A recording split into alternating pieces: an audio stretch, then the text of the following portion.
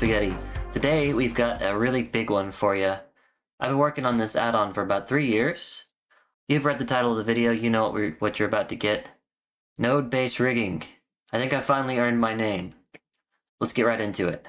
In this video we'll be looking at the features of Mantis. In future videos we'll be doing tutorials on how to make all this stuff. Let's check it out. So first things first, if you'd like to install the add-on, go to Preferences, Get Extensions, and up in the top right, there's a repositories tab. Go ahead and add a new remote repository. Type in https colon forward slash forward slash nodes.tools slash extensions. And go ahead and check for updates if you want to. Now up in the search bar, search for Mantis, and then just click install and you're good to go. The homepage of this project is nodes.tools, so be sure to check out all the links on there. So let's go ahead and press E to generate this graph. And you can see it's created this little crab guy, and it's also created this rig. You'll also notice that the rig follows the outline that was there before. This is called a meta rig. If you're familiar with using Rigify or CloudRig, or just about any other automatic rigging software, then you know that the meta rig is what you use to place the deform bones in the right place so that the rigging software can figure out where to put all of the mechanisms and all of the extra bones that it has to add to make the rig function. Let's look at the functionality of the rig we just created with Mantis nodes. You'll notice that the feet stay on the ground when I move the character's body. This is called IK, or inverse kinematics. I've included a switch to turn off IK and use FK. FK is forward kinematics, and now, when I move the body, the legs follow it. This is a basic feature that's used in almost every rig. I've implemented the same feature for the arms. I want you to notice that they're asymmetrical, yet the behavior is symmetrical. Mantis makes implementing these kinds of symmetrical asymmetries effortless. You'll immediately notice that the nodes in our Mantis rig are color-coded. We have the orange transform nodes, the green link nodes, and the gray utility nodes, node groups, and schema. These are the five main divisions of node types in Mantis. Transform nodes represent bones, armatures, objects, and anything else that has translation, rotation, and scale. Link nodes represent relationships between bones, such as this inherit node right here, which is a parent-child relationship. Finally, we have utilities, node groups, and schema, which are ways of generating reusable components from nodes. Here we have the root bone and the body bone, and you can see the body is a child of the root. Um, so we have our root, our body. These are the uh, the mouth pinchers, and these are groups that have the left and the right side of the character. If I were to delete this and regenerate, you can see that now only the right side of the character is there. If I change this R to an L and delete all this and regenerate, you can see that now we have just the left side of the character.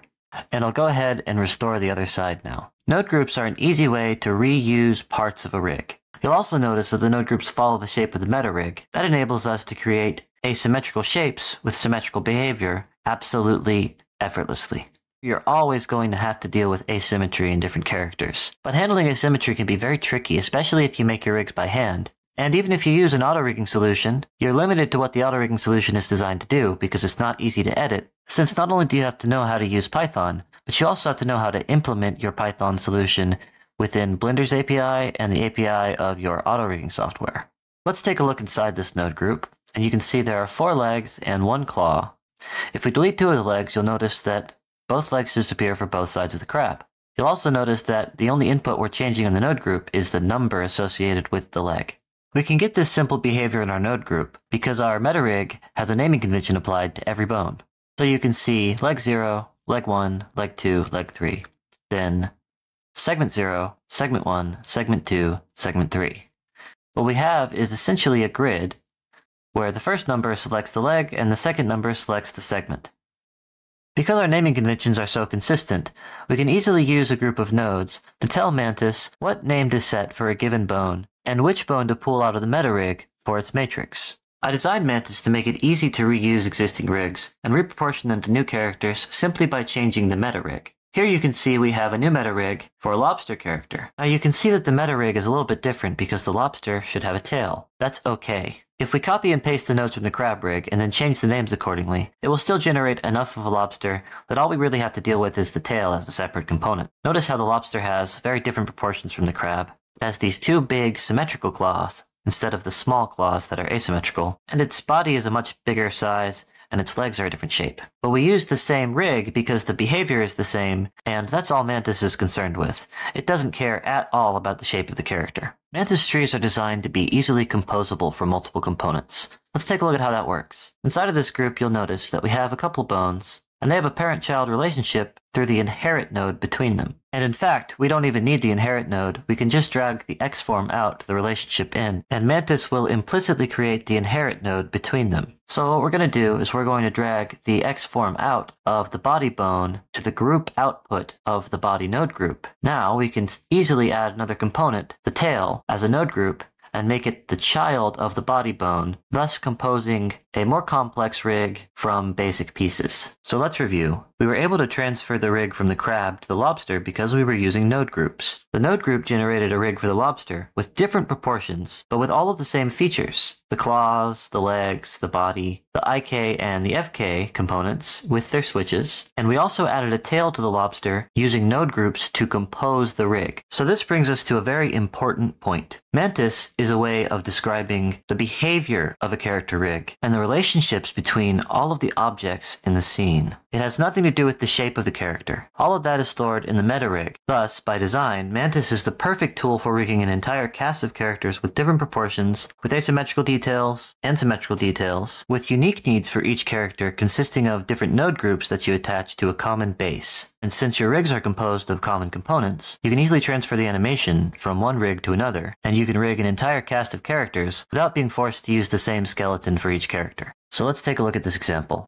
I'm replacing crab body with lobster body for the main rig node group. And it's the same except now there's a new switch on this left arm here. Arm broken. And you can see what it does. Poor guy. Anyhow, inside of the node group, it's all the same except for I've replaced this one with a broken arm group, which has a little bit of extra logic in it to handle the broken arm. And just like that, very easily we've made a new rig with a new feature that doesn't break any of our existing animation or anything like that. So let's take a look at the nodes that make up the lobster's tail. You can see that I've repeated the same cluster of nodes over and over again. The one that makes the bone, and the other cluster that makes the object on the tail. Now this isn't a very good way to work. It's quite inefficient, and if I make a mistake in one segment and then duplicate the segments over and over again, I'll have to fix all five of them in order to fix the mistake. And it's very easy to let human error creep in in a situation like that. Enter schema. Schema nodes are like node groups, except they are repeated again and again and again based on a length parameter.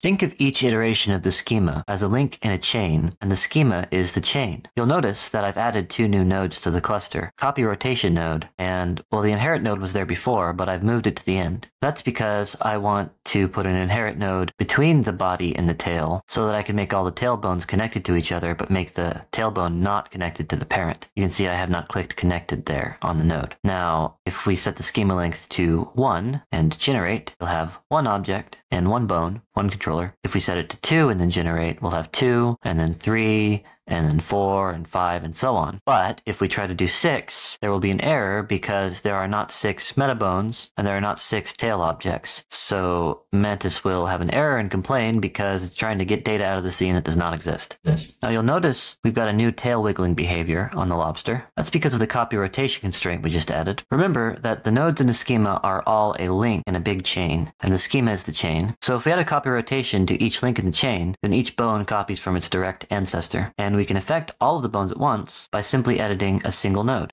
Nice. So let's try a few different values for the influence of the copy rotation constraint and see what they do to the lobster's tail. It's nice being able to edit them all at once like this.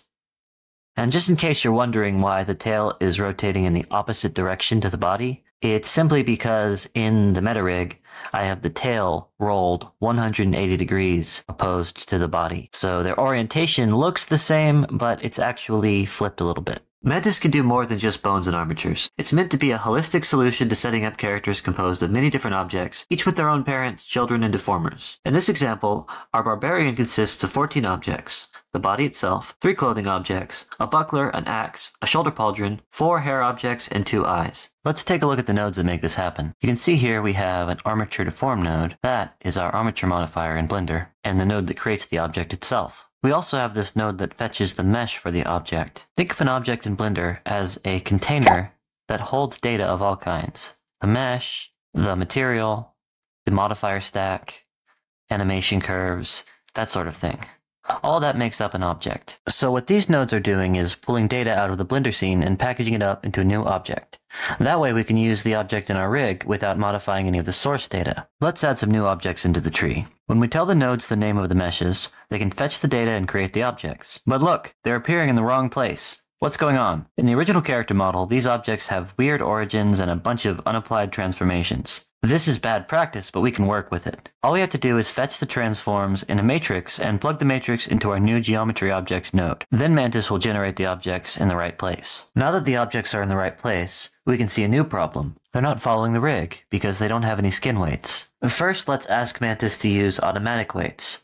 While this is an improvement, you can see that the clothes aren't following the body very well. We've already skinned the body of the character, so let's use Mantis to copy the weights from the body mesh using a hidden helper object. That's much better. Let's have a look at this node. This is the node group which contains the entire logic of the body rig. Inside of it are several more components, these IKFK legs, uh, these IKFK arms, the hands, which are composed of several nodes that make up the palm, and then one, two, three, four fingers and a thumb. And the fingers and thumb have these node groups in them, which create the parent, the control, and the finger bones, respectively. And over here we have like the head and the face, the eyebrows, the eyes, and uh, you get the idea. Now we've connected the bones that represent several different body parts of the character, the output of this node group, which means that we can use them essentially like sockets. And we can name these node sockets whatever we like. Let's take a look at our finished character here, and you can see all these nodes that add simple parent-child relationships with the new objects in the scene. This axe is a child of the hand, as we can see when we turn on the IK switch. Pauldron is a child of the arm, and the other parts also follow. Now since these parts are hard, we use a parent-child relationship since we don't want them to deform, but clothing has to deform, so it uses the armature modifier using our armature deformer node. And finally we have this ponytail here, which I forgot to apply automatic weights to so it isn't moving. Let's just do that real quick. And you can see that it's just a piece of the rig that we attach to the main body through a socket. Very simple. Building a character from components like this is the core workflow of Mantis, and the reason why it's so easy to use and easy to extend. This next part of the video is not sped up. I want you to notice how fast it is for Mantis to generate an entire character rig and all of the geometry data. And I think I'll also leave the original audio in place delete all that stuff and I'll press E and it generates everything. It takes about a second, which is really slow as far as I'm concerned. But it's really fast compared to other auto-working solutions.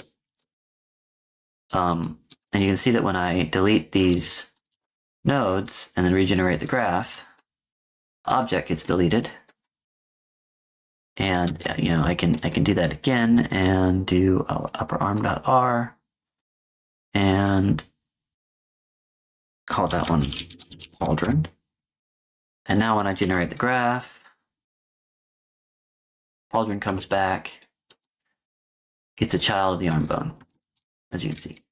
And that's a wrap for this video. Come back next time for tutorials on how to use Mantis, and all the other cool stuff I'll be doing with this channel. Maybe some game design videos, maybe some character art, who knows, new pipeline tools, all kinds of stuff. I've got a million ideas. You can consider this the official relaunch of Node Spaghetti. And as a reminder, Mantis is free and open source software, which is freely available to anybody who wants to download it from my extensions page. So, building this add-on has taken a lot of work, and supporting it is going to take even more work. Uh, in addition to building the add-on, I've also had to set up a bunch of websites and do a whole bunch of stuff on the back end. Uh, not to mention making this video and all of the subsequent videos I'm going to be making.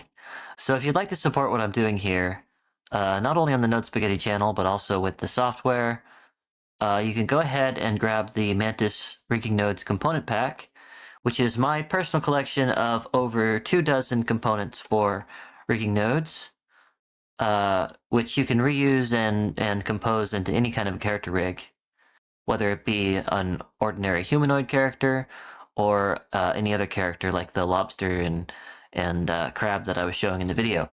You can also grab the uh, the source code of the add-on if you want to look at that. That's uh, available to anybody who wants it on GitLab.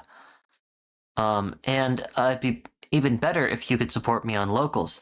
In fact, uh, this is what I want more than anything. So, the first 50 or so people who sign on to the locals as monthly supporters will get the component pack until I can make it a Content Plus feature.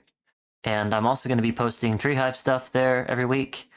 What is Treehive? Oh, Treehive is my Gumroad page where I sell extremely high quality uh, 3D scanned tree assets. And I'm going to be expanding this to other kinds of forests and stuff. Look at the quality on this. It's incredible. It looks just like the real thing because it is the real thing. So, um, the locals will have both the Treehive and some of the Gumroad products as benefits to anybody that signs on for, uh, I think it's $3 a month or more. So go ahead and do that. And uh, you know what else you get on locals? You'll get uh, personal feedback on your rigs and help with uh, using Mantis and stuff like that. Especially since I haven't got the tutorials out yet. Um, this is the right place to get support in the meantime. Uh, I should be able to get some tutorials done on a weekly basis. Um, so I, would also appreciate you supporting the channel through locals or by, uh, if nothing else, subscribing to me on YouTube. Look, I'm subscribed. I think this is really cool. I'm sure you probably agree if you watched it through to the end. And uh, I want to change the way people rig stuff in Blender. And I want to build a way for them to share their rigs a lot easier than sending blend files around. And I think this node tree is going to be revolutionary in the way people rig stuff, in the way people share their rigs, sell them, buy them, reuse them. I want you to be a part of making that a big success. And this is your opportunity. So go ahead and click on all the links. They'll be in the description of the video and uh, get all the benefits of being a local supporter. Thank you all for watching the video and have a wonderful night or morning or day or evening or whatever they have on your planet.